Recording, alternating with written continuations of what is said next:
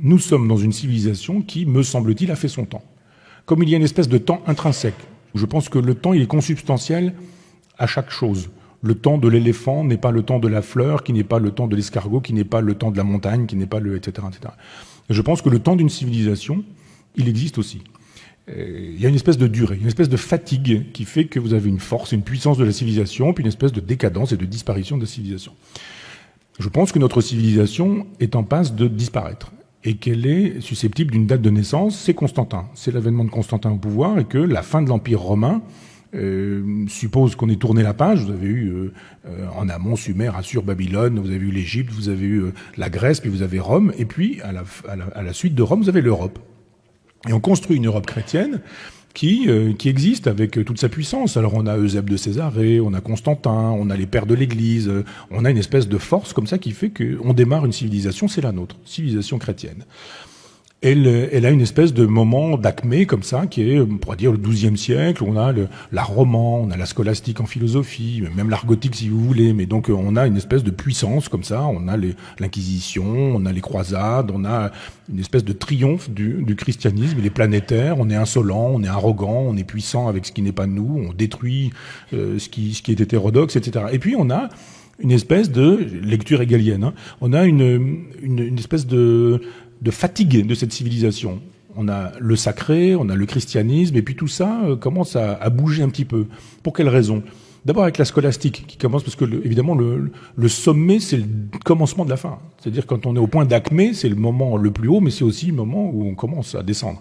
Et bien on peut imaginer que la scolastique, c'est quand même une, espèce de signe d'impuissance, puisque c'est le, désir en philosophie de mettre de la raison là où la foi suffisait la croyance était suffisante, et là, d'un seul coup, on essaie d'expliquer qu'il a, il, faudrait qu'on croie parce qu'il y a des raisons qui font que, etc. Donc, on se dit, la scolastique, elle va rendre possible l'humanisme, euh, la Renaissance.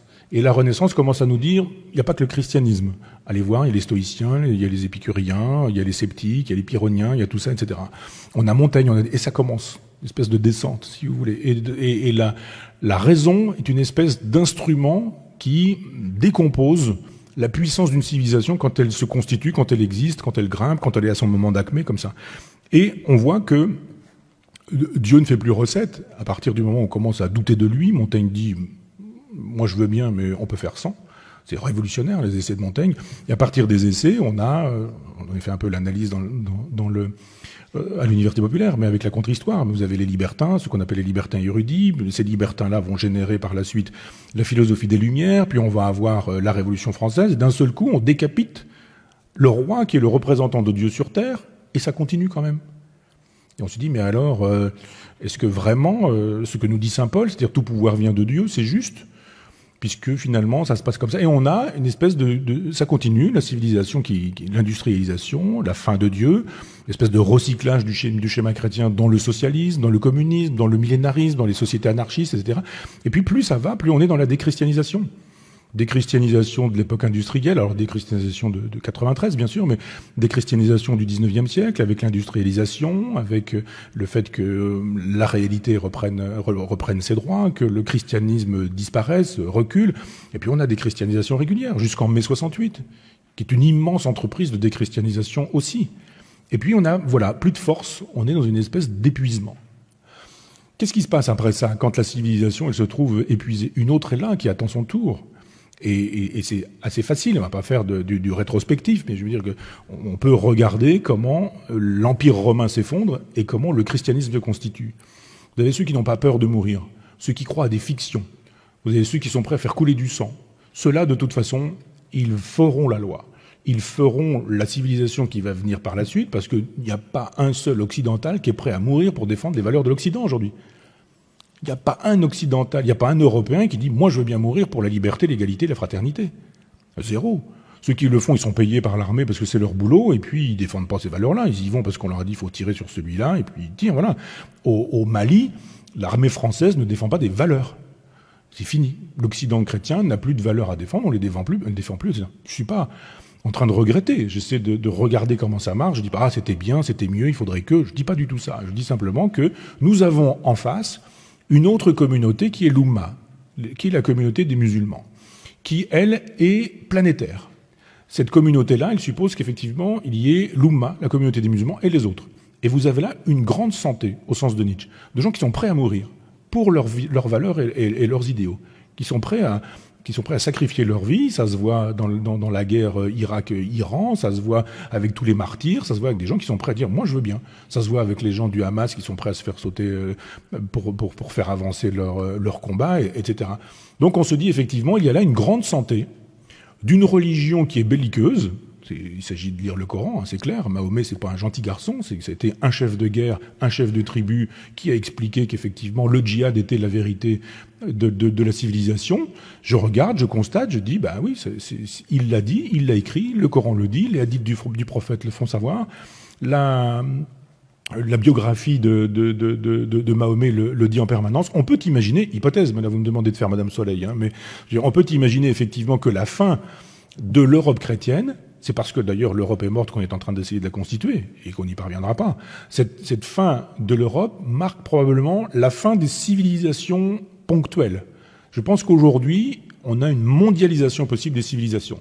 C'est-à-dire que pour la première fois, une civilisation peut être globale et planétaire et qu'on peut avoir effectivement des gens qui sont décidés parce qu'ils sont jeunes, parce qu'ils ont la démographie avec eux, parce qu'ils ont la grande santé nietzschéenne, parce qu'ils ont la force, parce qu'ils sont prêts à mourir, parce qu'ils croient à leurs valeurs, parce qu'ils croient à leurs vertus, parce qu'ils sont poussés par un, élan vital. On peut imaginer une espèce de néo-civilisation qui pourrait se produire comme ça. Alors évidemment, pas la religion du désert, parce que euh, tout ne se passe pas dans le désert. Allez voir du côté du Qatar, allez voir du côté des Émirats, et vous avez probablement ce qui peut être possible, c'est-à-dire le Coran plus l'iPhone.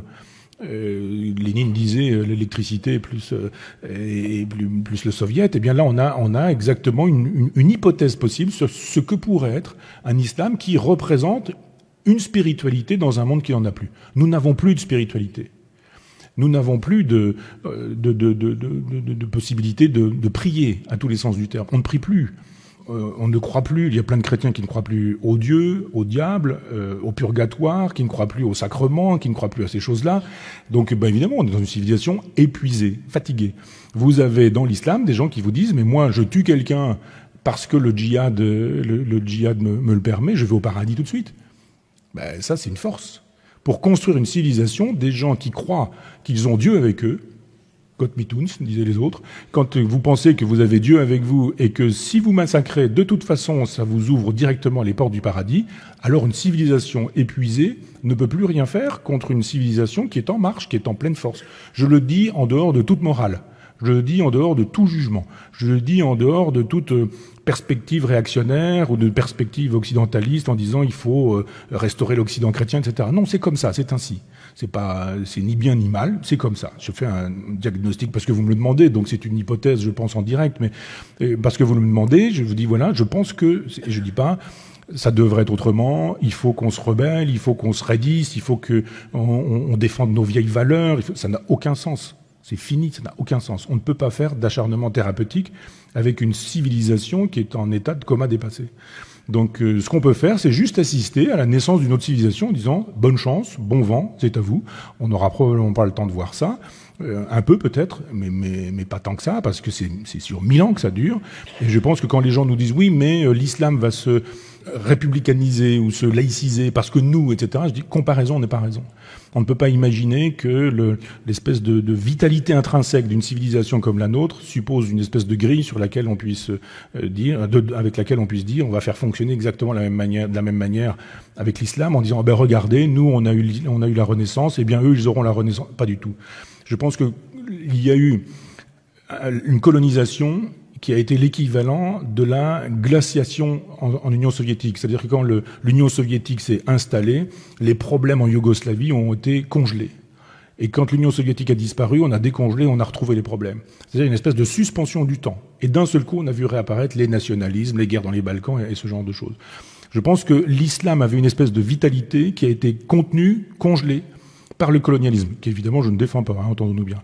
Mais simplement, le colonialisme a imposé ses valeurs, le christianisme, l'Occident, etc. Et on a interdit l'islam. Disait en gros, si vous voulez, dans votre petit coin, mais euh, Nous, nous, on vous apporte la civilisation. On avait Jules Ferry avec nous. On avait euh, la culture pour, pour, la Révolution française pour expliquer qu'on était dans l'universel et que c'était bon pour eux que ça se passe comme ça.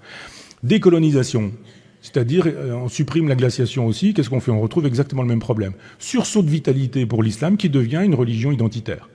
Une religion non pas nationale, mais une religion de la communauté qui, elle, est devenue universelle et planétaire.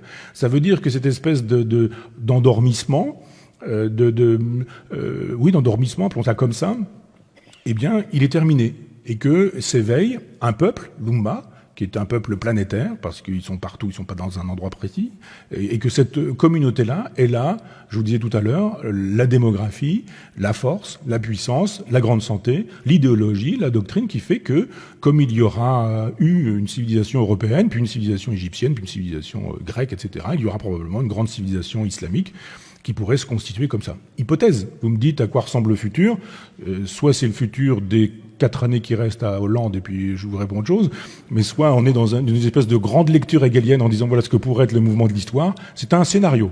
Je dis pas c'est le scénario, c'est un scénario euh, possible, à charge, à charge de débattre sur ce scénario-là en disant non, il y en a d'autres, parce que euh, une civilisation ne se constitue pas sur une religion. Moi, je pense que, que non.